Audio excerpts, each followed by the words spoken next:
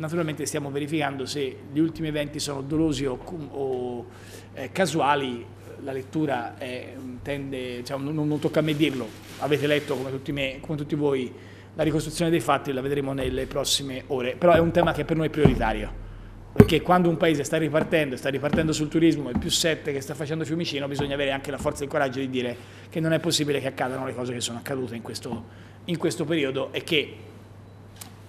dovremo fare una verifica da tutti i livelli per individuare responsabilità e eventuali colpevoli laddove fosse eh, doloso.